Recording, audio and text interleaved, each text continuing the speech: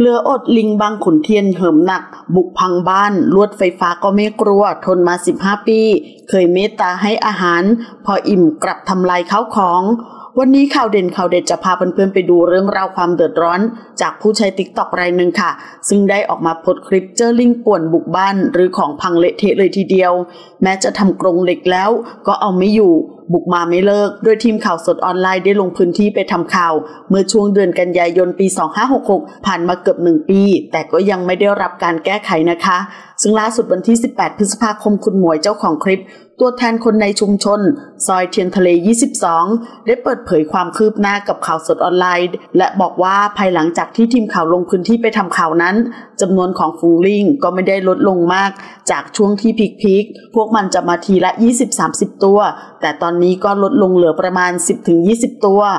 ต่อมาทีมงานผู้ว่ากรุงเทพลงพื้นที่มาตรวจสอบ รวมถึงพูดคุยหารือถึงแนวทางการแก้ไขปัญหา ซึ่งตนและชาวบ้านในพื้นที่นั้น อยากให้กำจัดลิงออกไปเลย แต่ทางหน่วยงานอ้างว่าเอาออกไม่ได้ เนื่องจากไม่มีที่ให้ลิงไป อีกทั้งทางเขตบางขุนเทียน เสนอจะแก้ปัญหาโดยการนำอาหารมาให้ลิงเพื่อที่พวกมันจะได้ไม่รบกวนบ้านเรือนของประชาชน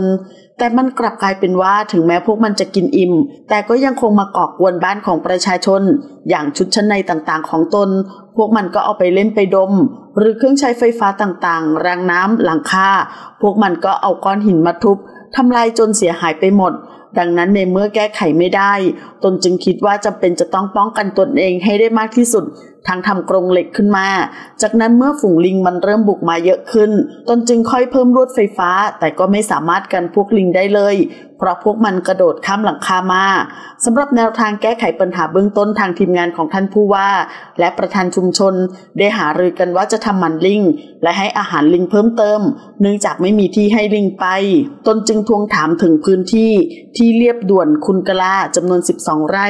แต่ก็ได้รับคำตอบว่าอีก 5 ปี ก็ไม่รู้ว่าจะได้เริ่มโครงการหรือไม่ ตนไม่สามารถทนได้ไปอีก 5 ปี เพราะตอนนี้ก็สติแตกไปแล้ว เหมือนน้ำที่ล้นแก้ว จนจะปริแตกแล้ว แต่ถ้าจะให้ย้ายออกก็ลำบาก เพราะฉะนั้น